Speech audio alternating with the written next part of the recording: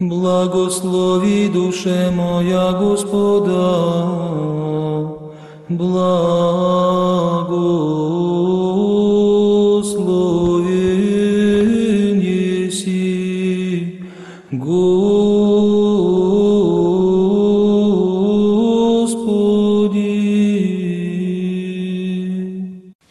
Здравствуйте, дорогие братья и сестры!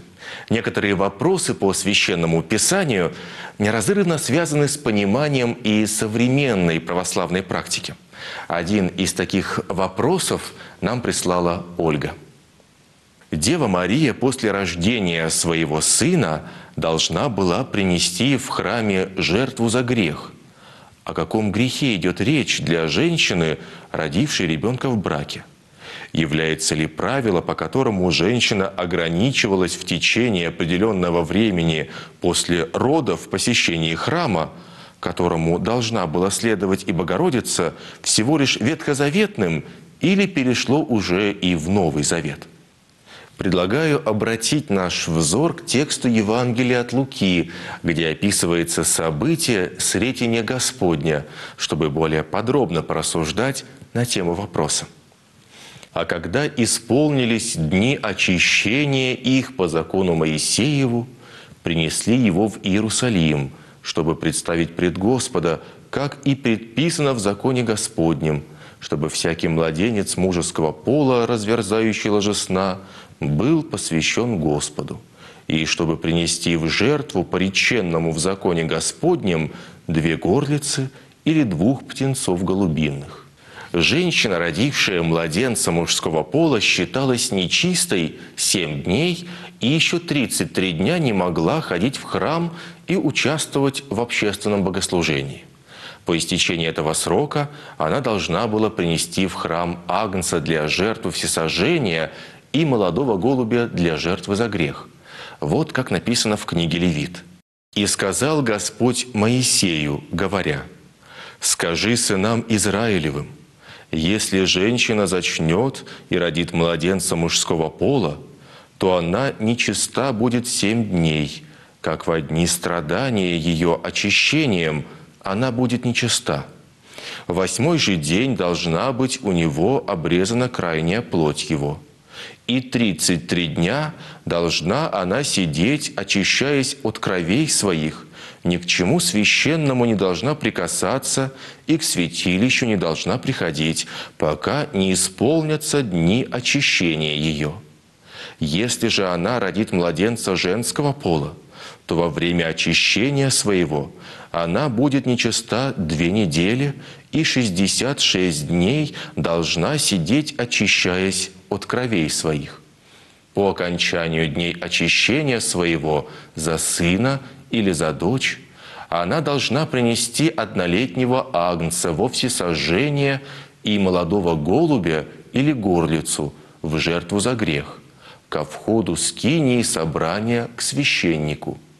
Он принесет это пред Господом и очистит ее, и она будет чиста от течения крови ее. Вот закон о родившей младенца мужского или женского пола. Если же она не в состоянии принести агнца, то пусть возьмет двух горлиц или двух молодых голубей, одного во всесожжение, а другого в жертву за грех, и очистит ее священник, и она будет чиста.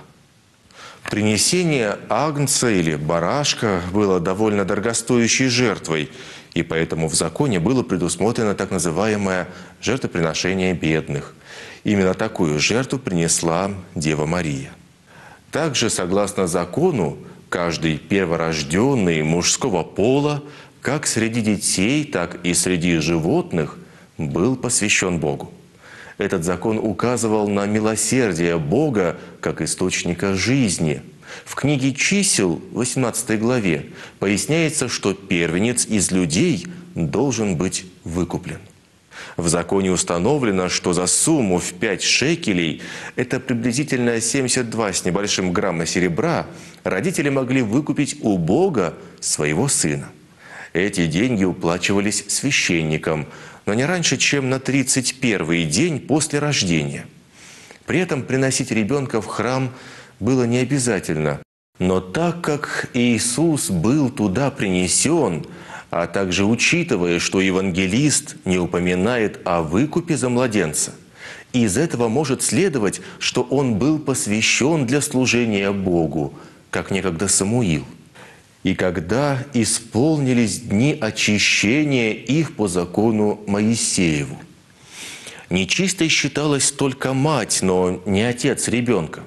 Возможно, местоимение «их» было употреблено, чтобы показать верность Иосифа в служении Деве Марии и Богомладенцу Христу.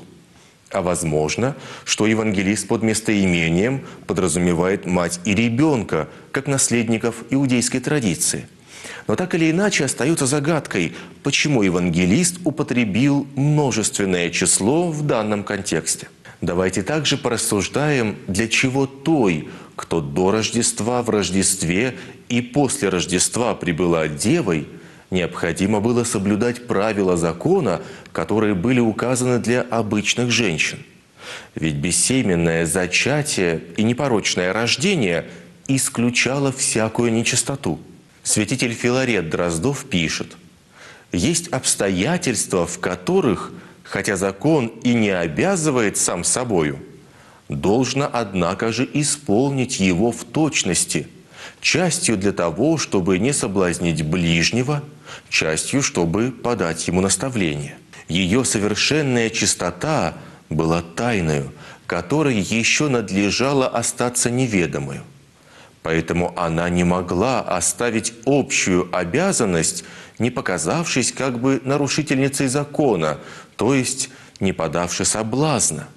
В всем случае повиновение закону было для нее обязанностью любви. Как мы видим, понятия о ритуальной нечистоте были весьма четко прописаны в книгах закона Моисея. Касательно нечистоты женщины после рождения ребенка, то она основана на особом отношении иудеев к крови. Мы можем вспомнить в качестве примера историю с кровоточивой женщиной, прикоснувшейся к краю одежды Иисуса. До тех пор, пока женщина могла иметь послеродовое кровотечение, пока не затянулись ее раны, она находилась в покое. Ее не беспокоили различными ритуалами иудейской религиозной культуры. Да и в современной православной практике женщина в течение 40 дней не посещает храм и не участвует в таинствах. Это не означает, что она считается настолько нечистой, и священники должны сторониться от нее, как от прокаженной. Ведь согласно канонам церкви, если есть большая нужда, то священники у такой женщины и исповедь примут, и пособоруют, и причастят святых христовых тайн. Многие из отцов видят в данном церковном правиле, которое предписывает после рождения женщине не посещать храм, педагогическую, мудрую цель. Ей необходимо не бежать в храм на исповедь и причастие, а всем своим умом и сердцем прилепиться к своему чаду, не оставлять его ни в коем случае. А время посещения храма еще придет. Главное нам, дорогие братья и сестры, помнить, что всему свое время. Помогай нам в этом, Господь. Благослови душе моя Господа, благо